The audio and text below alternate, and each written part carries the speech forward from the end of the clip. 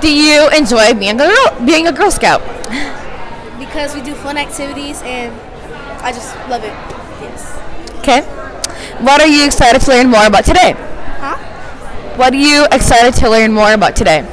I'm excited to learn more about like Girl Scouts, background, history, and stuff I don't know yet. Okay, thank you.